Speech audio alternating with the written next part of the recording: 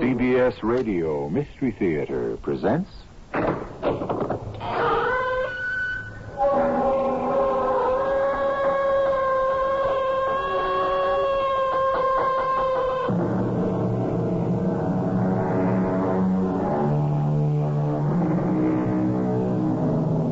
Come in. Welcome. I'm E.G. Marshall.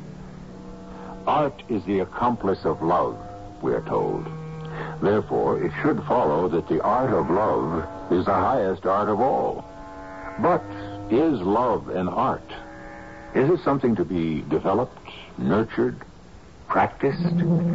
Or is love something that just comes naturally? Obviously, there are two sides to that question, which is why we have a story. Uh, Mr. Crawford, this painter Kurt Strelitz, had you ever heard of him? No. But the paintings you bought are worthless. You threw away $250,000. Yeah, I know. Uh, It doesn't make any difference how much money I lose or throw away. At the end of the year, I always wind up with more than I started.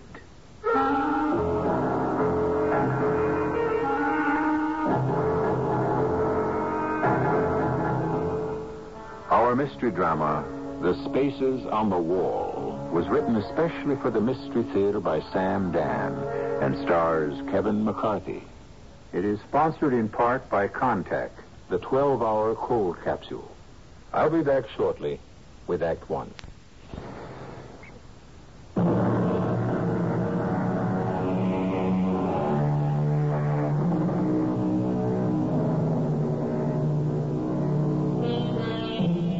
Consider something. Your little daughter, age six, daubs a few colored lines, blobs, circles on a piece of paper.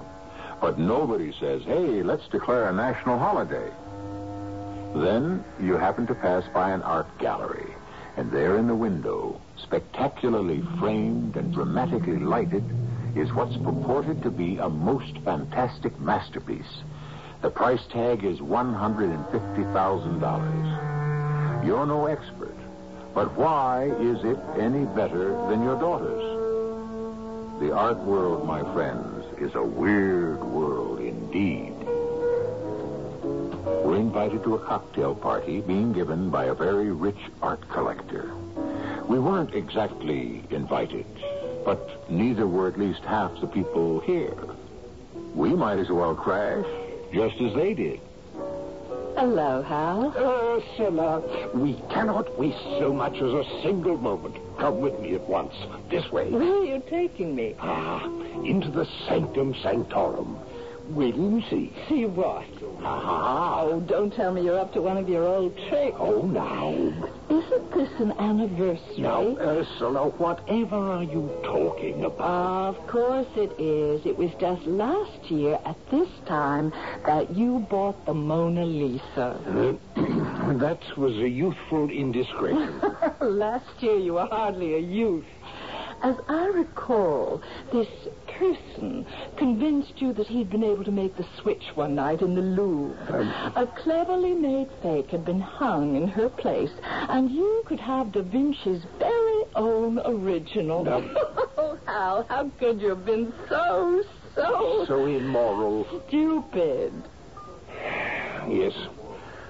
Certain people have no business being rich. when I get an impulse to do something wrong, I, I have the means to gratify it. Whereas if I were poor, oh, well, at least I'm not frustrated. That in itself is healthy.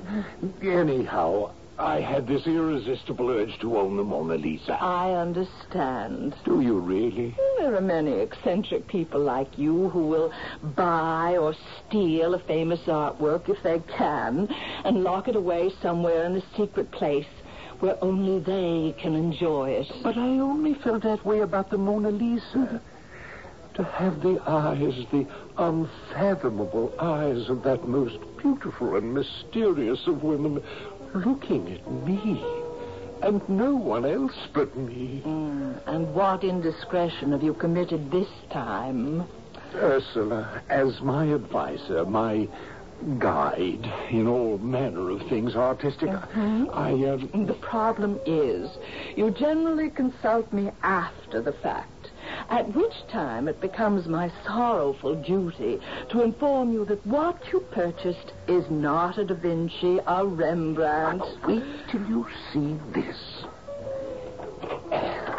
All right, follow me. Mm-hmm. Now, before I turn on the lights, I must swear you to secrecy. Mm, I was afraid of something like this. A condition of the purchase was that it would not be made public for five years. If the deal was legitimate and above board, you have my word. Then, voila, there should be light. See? It's impossible. Ursula, my dear, hanging on the wall are four genuine. I know what they are. Strelitzes. Well, then you should also know that these are the only four in existence. Where did you get these paintings? I bought them. From whom? The owner. Impossible. Why? Because the owner is Carl Mueller, Carl Christian Mueller. My dear, the owner was Carl Christian Müller. But Carl would never. Why, he he promised. He gave me his word. If he were ever to sell the Strelitzes, he would sell them to me.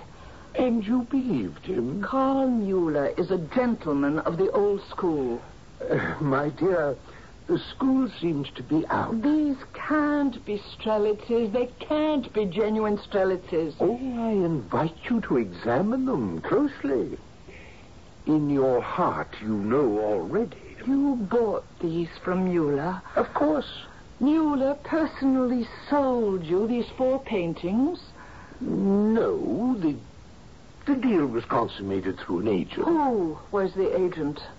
Well, does it matter? I have the bill of sale signed by Mueller himself. I have never known Carl Mueller to break his word. Well, there's a first time for everything. Oh, I suppose you're right, Hal. I suppose you're right. But uh, Ursula, my dear, what you say is just not so. Carl, I saw the paintings with my own eyes. The Strelitzes? Yes, all four of them. You sold them. You broke your promise.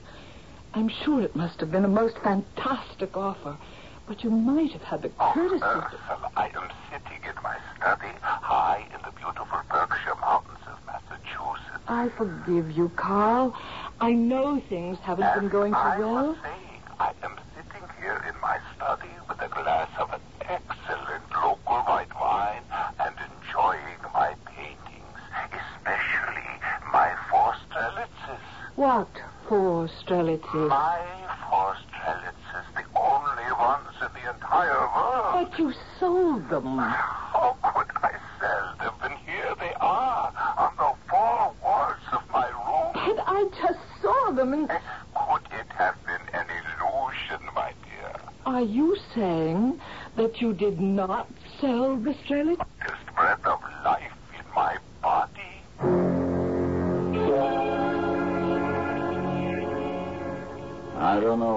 Come to me, Mrs. Derringer. I don't know the first thing about art. I don't even know what I like. I've been told you're an excellent private eye, Mr. Westerly. Private investigator. Excuse me. I resent being called a dick, a flatfoot, a gumshoe. I, uh, I would like you to find the thief or thieves who victimized my friend. Who is your friend? Is it necessary for me to bring him into it? Well, he's in it now. My friend is a very wealthy man. His money is all inherited, of course. A few years ago, he decided to become an art collector. However, he faced a problem. What was that? Just about all the great art had already been collected. Well, still, I imagine for money, just about anything could be Not bought. only has most of it been spoken for, but it already belongs to museums, institutes, and the like. Aren't there any great painters today? Probably. Probably. What kind of an answer is that? An honest answer. There are painters who are all the rage, but How do we know they're not just a fad? Hmm. You need time to authenticate an artist's true values. All right, all right. Now, anyhow, your friend bought these four fakes. For how much? A quarter of a million dollars? That's about sixty-one thousand apiece. Cheap enough if they had been genuine. Mm-hmm. Who was the artist supposed to be? A German painter of the late 20s named Kurt Strelitz. He's still alive? No, he's dead. When did he die? Where and how? It isn't known where he died exactly, or when, or how. Well, then, how do we know he's dead? When the Nazis came to power, thousands of people just disappeared. Ah, The police would knock on your door and drag you off to prison. and that's what happened to this Kurt Strelitz? Yes. When had he been taken away? In the late spring of 1939, just before the war. Now, how old was he? He was about 25. And he was already famous? He was established, yes. Mm. And these four paintings are all he ever did. They're the only ones that survived. The Nazis destroyed all his other work. Mm. And you say that the four that were bought by your client are fakes. Why? Is it that obvious? Oh, no. Actually, they're excellent. But you, as a connoisseur, you can tell. Is that it? Well, the fact is, the owner of the paintings, a Mr. Carl Christian Müller, promised that he would sell them to no one but me. Well, you know, men have been known to break promises. Mm, not Carl Müller, and certainly never to me. Why not?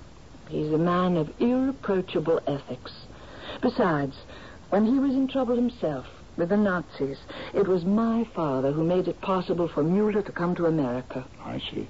The Strelitzes are still in Mueller's possession, and so naturally the ones my client purchased must be fakes.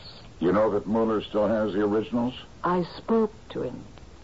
You mean you went to his home or wherever? and- No, no, and- no. He's become a recluse. Doesn't see anyone. Uh-huh. Where is he? You ask a great many questions. Well, that's what you're paying me to do. But it does seem to me that so many of them are um, irrelevant. And then you spoke to this Mr. Muller on the telephone? Yes. And he told you that he hadn't sold the paintings, that they were still in his possession. And therefore you assumed that the ones that your client had purchased had to be fakes. What other conclusion could there possibly be? But how do you know that you were speaking to Mueller? How do I know? I, I've known him since he came to this country. I've known him practically all my life. But someone could have imitated his voice. Isn't that possible? No, not well enough to fool me. And even if it could be done, there would still be Erica, Mm, Who's Erica? his daughter. She keeps house for him. And she was there too? Of course. Carl couldn't possibly live alone. And you spoke with Erica also? Naturally, she answered the phone. I, I wish I knew what you were getting at. Mrs. Derringer, in certain wild desert countries, if your wife is sick, you call a doctor. However, he's not permitted to touch her. He isn't even allowed to look at her. He stays behind a curtain or a screen and tells you what to look for and how to examine her. What, what does this have to do with... Well, I feel just like such a doctor in this case. I'm being kept from your client. I'm being kept from anyone who might have personal knowledge of these paintings. But from a detective's point of view, it's a relatively clear-cut situation. Treat it as you would any other type of forgery or counterfeiting or, or confidence game. That's exactly what I'm doing. And I already have four prime suspects. Four. Certainly. The first is your client, whoever he is. The second is this Mr. Carl Christian Muller. The third is his daughter Erica. The fourth is you. Me? That's right. You. And there's a fifth. The artist himself, Kurt Strelitz.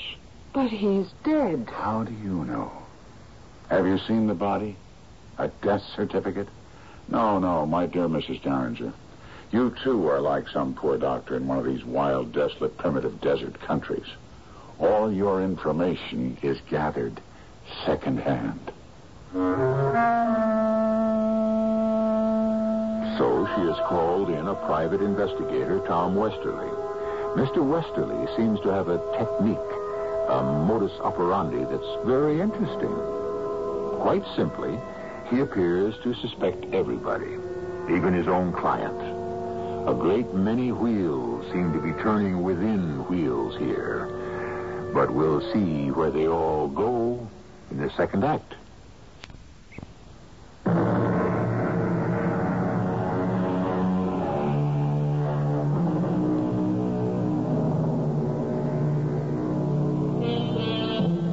It is said that in some indefinable way, a work of art will resemble the artist. Not in the external aspect so much, but in a sort of inner glow that illuminates the painting and imparts an essence of life itself. Perhaps. And even if a work of art is a forgery, it still was created by an artist. Therefore, it should resemble him, whoever he is. Shouldn't it? Are you actually implying, Mr. Westerly, that Mr. Mueller, his daughter Erica, I, myself, and even poor Kurt Strelitz, who has been dead for at least 40 years, are somehow part of a plot to defraud my, uh, my client? I can only go with what I've got. But this is a, a most outrageous accusation. Mrs. Derringer, do you actually want to apprehend whoever it was that sold the fake pictures to your client? Certainly. What other reason have I for engaging your services? Just window dressing, perhaps? What are you getting at? Well, you're Mrs. Ursula Derringer. You're an art critic and historian. You're 44 years old, divorced. How do you uh, know all this? When you called me yesterday to set up this appointment, I decided to find out about you. I'm all the gall. Why? I'm sure you checked on me.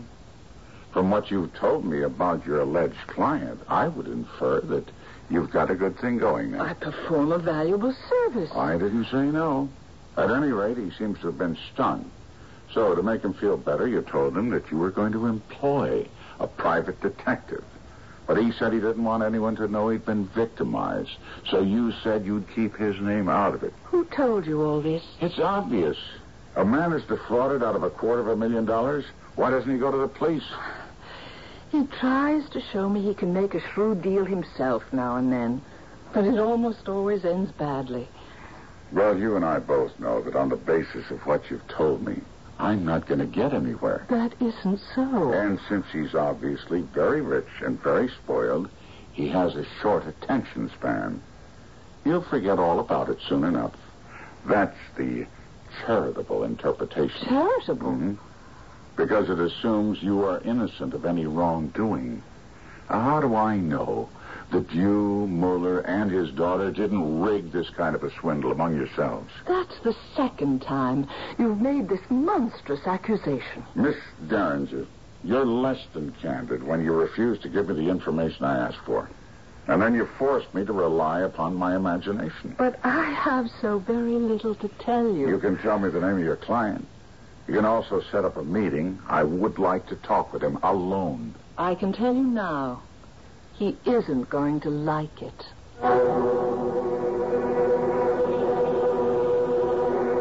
I distinctly told Ursula I didn't want any publicity. Well, assuming that we apprehend the criminal, Mr. Crawford, the story will have to come out. Well, in that case, it it it won't be so bad. You see, I have this problem Which one? with my image. Everyone believes that I'm spoiled and stupid. And that isn't true. Oh, it's true enough. But I'm trying to change it.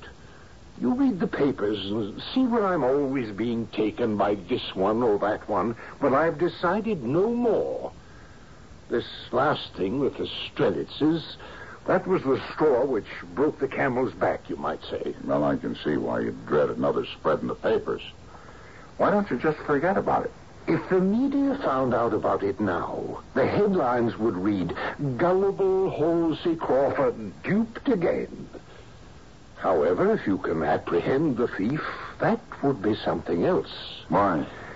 Well, it would sort of demonstrate that you can no longer pull a fast one on Halsey Crawford and get away with it. In other words, what I want you to do is to keep the investigation secret, unless, of course, it happens to be successful. Well, if I start moving around and asking questions, the word will have to come out. Well, you simply have to be discreet. Hmm. This painter, Kurt Strelitz, why did you want to buy his work in the first place? Ursula, Mrs. Derringer, told me all about him. Had you heard of him before that? No, I don't think so. You paid a quarter of a million dollars for the works of a man you knew nothing about? Well, you put that much money and more, perhaps, into securities you don't know anything about either. You go by the recommendations of your financial advisor, don't you? I wouldn't know anything about that. Oh. Well, in the same way, Mrs. Derringer is my artistic advisor. But she didn't advise you to buy the Strelitzes. No, she kept insisting they weren't for sale. Well, then why did she even bother to tell you about them? Because it was going to be part of my education. Kurt Strelitz was an important modern German painter. And the fact that you were approached by someone to buy the paintings by Strelitz could be a coincidence. Well, I'm sure of it. What would Ursula have to do with it? The truth is that I've been a natural target for hustlers and confidence operators. All right, all right. You were approached. How? I received a telephone call. From whom? A woman. She said her name was, well, uh, Smith. Helen Smith. And since I was known as a man who was interested in buying art, she had four valuable works. Strelitzes. Yes. She said that the present owner, Mr. Mueller, was interested in selling them. Well, that statement sounded half true and half false. Why? Well, I knew that a Carl Mueller did own the Strelitzes. But I also knew that he'd promised them to Ursula. Shouldn't that have alerted you to something suspicious? But the woman said that that was no longer true. Mr. Muller needed the money. He was now embarrassed by the promise he'd made a long time ago, which was why a condition of the sale stated that I was to keep the purchase secret for five years. By that time, Mueller would surely be dead. So you agreed to buy them? Yes. And you went up to Massachusetts to see Miller and make the deal? No. I, I was told Mueller is a recluse who refuses to see anyone, even his oldest and best friends. But you were ready to pay a quarter of a million dollars to him. Well, it, it didn't matter. He wouldn't see me. How did you arrange it then? Well, we we met halfway, this woman and myself, in a motel on Route 7 in Connecticut. She was waiting in the room. The paintings were on display. And you went there uh, prepared to pay all that money without bringing someone along who had some expertise. Well, I couldn't very well bring Ursula, could I? Besides, I, I just looked at those paintings and I, I knew they were real. Ah, It's a good thing you have the money to go along with your uh, silliness and naivete. Well, that's true. I, I don't suppose I really hurt anyone but myself. And I don't even hurt myself. No matter how much money I lose or throw away, at the end of the year, my accountants tell me my fortune just keeps getting bigger. And now, describe this woman. Well, she had flaming red hair. But it, it could have been a wig. Probably was. She was about five feet five or so. She was heavily made up. Could you recognize her again? If her hair color were to be different, or if she wore a different wig, and she had no makeup, I don't know if I would be able to. How did you know that you weren't buying stolen goods? She had a bill of sale for me, and it was signed by Miss Mueller. But how could you be sure that that wasn't a forgery? Yes, I know. You're discussing all those routine take it for granted rules on how to do business, but I saw the paintings, and I said, I have to have them. I, I simply have to have them. How'd you pay for them? Cash. And then what? Well, we went our separate ways. May I have the bill of sale? All right. And uh, the motel room, the motel room that she was waiting for you in, does that mean that she engaged the room? Well, I suppose so. What was the name of the motel? Oh, it was more like those old-fashioned tourist cabins. It, it had a name like, uh, uh, the, you know, the uh, Cozy Rest. Cozy Rest, that's it. All right, all right. I'll see what I can do with all this. I know what I did sounds, well, well, we've been through all that. When I went there with the money, I, I wasn't really sure I'd go through with it, but I looked at those paintings. The, there was something in them. I can't describe it. Oh, by the way, why did you violate this agreement? You were supposed to keep it secret for five years. Had you done that, at least you'd still believe that they were genuine Strelitzes. You'd be happy with your secret. Yes, I know, but. But I suppose you can't really be happy with keeping a secret unless other people are in on it. Where's the fun? I simply had to see Ursula's face when she saw the Strelitzes. She's a very fine lady in every way, but she knows so much.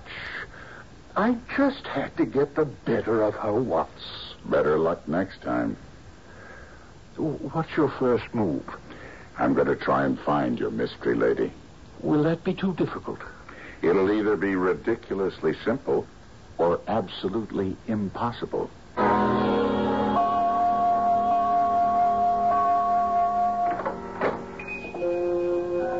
Afternoon. You're looking for a room? Afraid I can't accommodate you. Won't have a thing till a week from Monday. No, my name's Westerly, Thomas J. Westerly. What can I do for you, Mr. I'm Westerly? a private investigator. Here's my card. Oh? Guess someone's been uh, misbehaving, huh? This would be a week ago, last Tuesday. A woman, medium height, very red hair, checked in here. Would you remember her? Well, we get lots of red-haired women. Seems to be a popular color. This one checked in alone. Mm-hmm. A waiter. That's what we call them. Man or a woman comes in by themselves. It means they're waiting for their friends to show up. Well, I'd like to know about this one.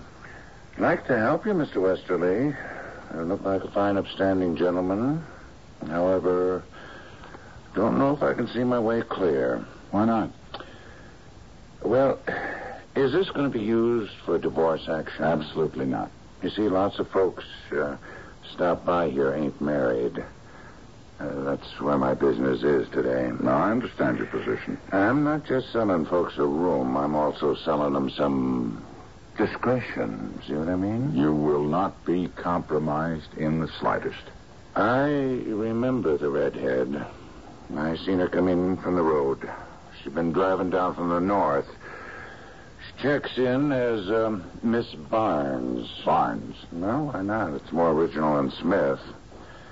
I says to her, "You got cabin seven." She registered? Mm-hmm. Let me turn back these pages here. Yeah. Here's the date, and here she is. Miss Helen Barnes, 1187 Constitution Parkway, Boston, Mass. I bet you look it up. There ain't no such address. Most likely. You notice here where it says car registration, make, mm-hmm. model, license, plate, and so forth? Well, it's blank. Now, they're supposed to fill it in, but they somehow managed to forget. She didn't fill it in either. No, I don't fuss at them for it. I understand they want to leave as little compromising information here as possible. So I just quietly take a look for myself and make a note of it on a separate sheet. And this is hers, huh? Mhm. This is hers, this Massachusetts tag number? Now, this is just between you and I. I understand, I understand. And I can always deny you got it from me. Thank you. Sergeant, uh, this is Tom Westerly. I need your help. Thanks. I have to check out a license tag.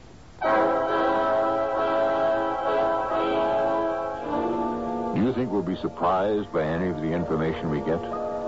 I'm sure it isn't too difficult to guess who the red-haired woman was. Or is it? It's all falling into place so quickly, so neatly, so easily. Well, This is the time to start questioning basic premises while we are waiting for Act Three.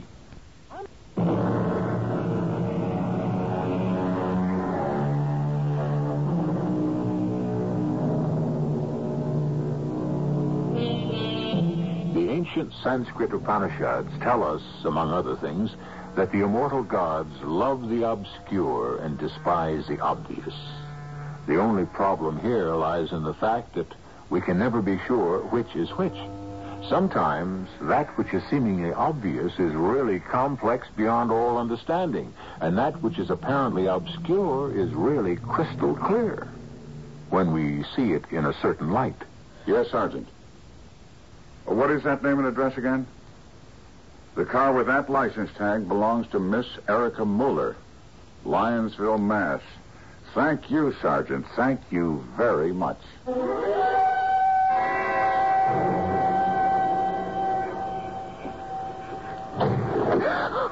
Miss Erica Muller, did you enjoy the movie? Who are you? What are you doing in my car? My name is Tom Westerly. I'm going to call for the police. Why? I warn you. The sheriff is parked in front of the theater. He'll hear me scream. Well, it's possible I'm making a mistake. I'm sure you are. Now you just get out of my Perhaps your name isn't Erica Muller. Could it be Helen Barnes? What did you say? Oh, but you couldn't be Helen Barnes. Two reasons. A, Helen was a redhead, isn't that so? And B, there is no such person as Helen Barnes.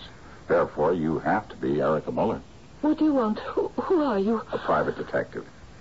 And what are you thinking right now? It should be obvious. You worked out a little scheme to raise some money. You had some fakes made of Strelitz's paintings. You knew about Hal Crawford, how he could be sold a bill of goods. As a matter of fact, you're quite friendly with Ursula Derringer. She may even have told you about him. That's what you're thinking? No, there's more. You even forced your father's name on a bill of sale. That's not true. Hmm, technically, I guess not. You probably handle all your father's accounts, constantly pushing all sorts of papers at him for his signature. He never could be bothered with details.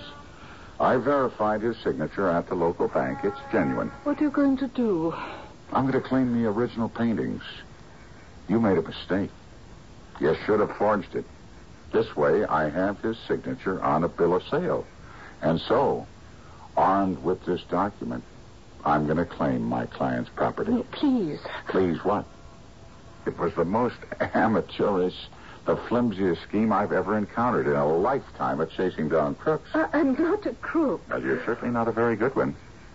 How could you ever expect to get away with something as as rickety as this? Can I ask you to do something?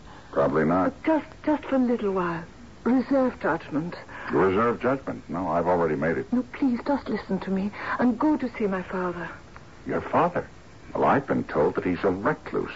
He refuses to have any visitors. But he'll make an exception in your case. Why? Leave it to me. But promise. Say nothing. Think nothing.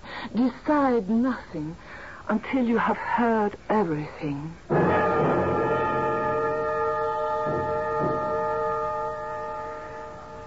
Father's sitting in his study. He won't get up to say hello. His back bothers him. He- He's a very old man. Now just let him talk. Come. Uh, Father? Erica, my dearest, did you enjoy the motion picture? Oh, yes. Uh, Father, may I present Mr. Tom Westerly? You see, my car broke down, and he was kind enough to rescue me. Oh, welcome, Mr. Westerly. Uh, pour the gentleman a glass of wine, Erica. Of course. Mr. Westerly is very much interested in art, Father. Splendid. I have a treat for you, then, Mr. Westerly. Ah, have you ever heard of Kurt Strelitz? I believe so. Oh, cut down in his prime by No, all right, Father, please, you must not get yourself forty excited. years ago.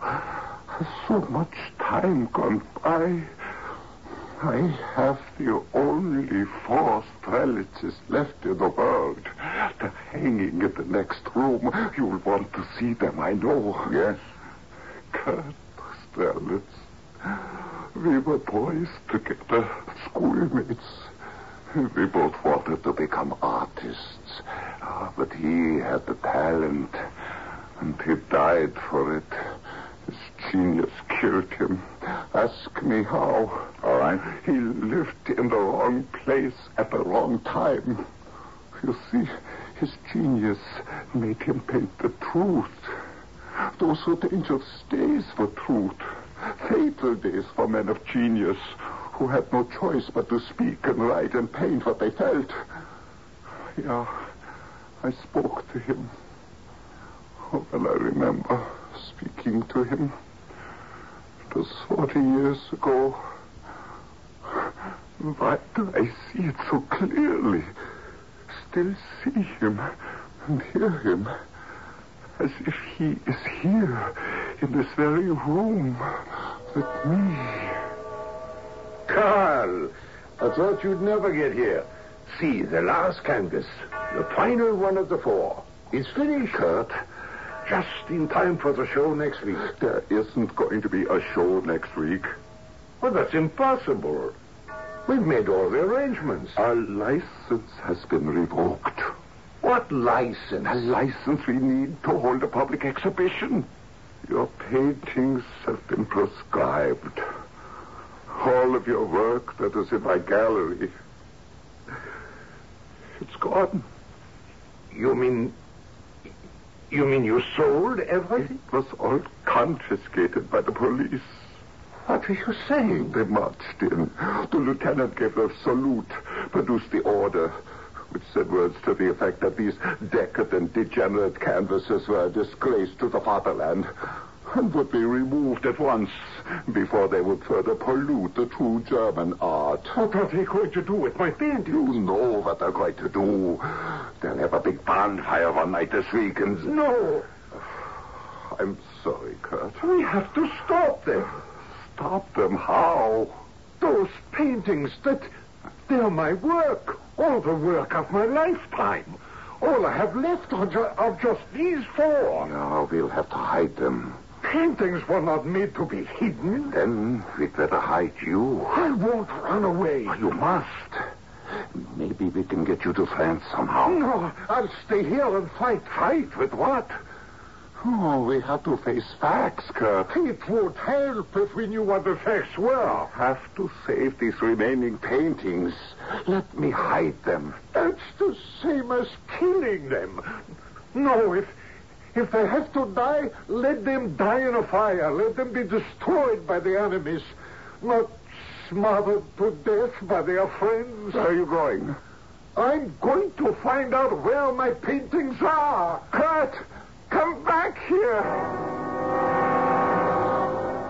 I never saw him again, Mr. Westerly. Where had he gone? To the police station to demand the restoration of his property. I betrayed him. You betrayed him? How? What did you do? I did nothing. Oh. At least I saved the last four. The best he ever did. Do you agree, Erica? Yes, Father. Ah, poor Erica. She was only a child. She doesn't remember. And now he has arrived. Kurt Strelitz has finally arrived. And how do I know? Because they're actually making forgeries of his work. That proves he is somebody, doesn't it? I would think so. a very dear friend of mine, a lady named Ursula Derringer, actually told me that a friend of hers had been fooled into buying fake Strelitzes. the last four. While each can stand alone, together they form a grand design. Brotherhood, charity, wisdom, love. Ah, come, come, you must see them. Let me help you, Father. Yeah, but, no, that's perfectly all right, child. I can. Oh! Father! Here, let me give you a hand. Are you all right, Father? Yeah, yeah, I'm fine. Yeah, I think you uh, positioned my chair just a slightly different angle, and so I, I tripped over my own feet. It's, the first time something like this has happened in years, isn't it, Erica? Yes, Father. Yeah. Well, uh, Mr. Westerly, you uh, found me out. You see, I'm. I'm blind. Usually I can manage to hide it. I have every root in this house reduced to science. But there's an occasional accident. Oh, you know, you don't have to guide me, Erica. I, I know my way in. Uh, won't you follow me, please? He's blind? Yes. Well, then how can he... How can Please, please don't say anything. Uh, turn on the full lights, Erica. Ah, now, Mr. Westerly, look at my four magnificent paintings. I managed to get them out of Germany and safely to America. How could poor Ursula Derringer ever think that I would sell them? Oh, she will have them after I die. That will be my gift to her. But while I live, I come in here every day Please don't say anything, Mr. Westerly. and lightly, ever so lightly, I run my hand over the canvas. I feel the texture. It's as if I'm speaking to Kurt Strelitz. You, um, you promised Mr. Westerly a glass of wine, Father. Oh, of course. Why don't you and Mr. Westerly go into my study and have some? I, I, I just want to stand here for a minute or two. Yeah, I, I feel very close to Kurt Strelitz tonight. Yes, Father. Mr. Westerly? Yes.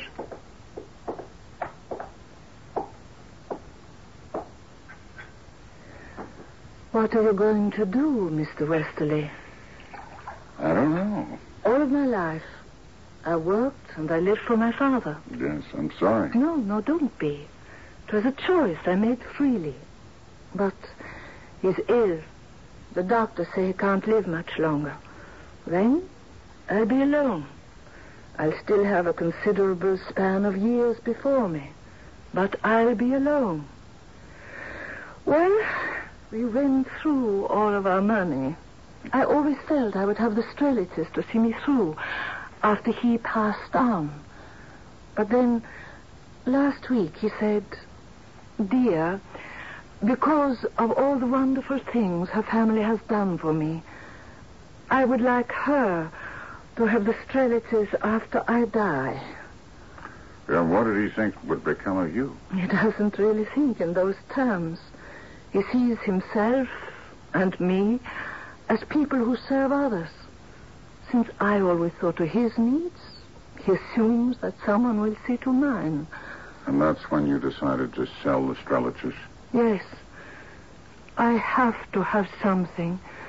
Something to show for my life. Oh, I understand. And he doesn't know the difference. He doesn't know that what is hanging in that room is a fake.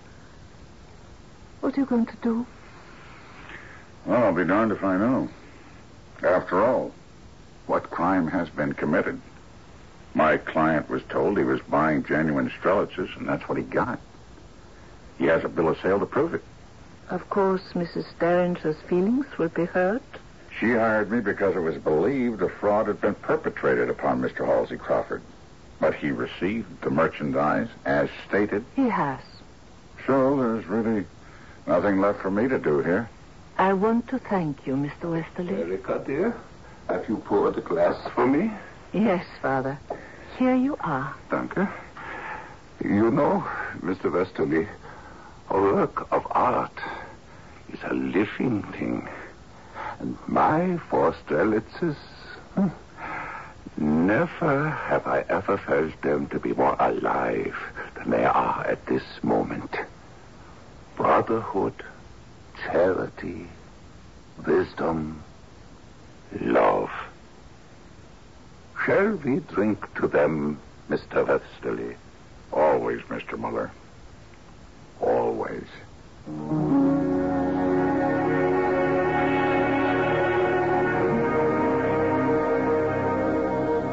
And why not? From time to time, in the whirlpool of our frenetic existence, one or more of those four seem to fall out of fashion for a while. Indeed, it happens so often, and with so many people, you'd actually think that things can be replaced with something better. Don't even think about it. There is nothing better. I'll be back shortly.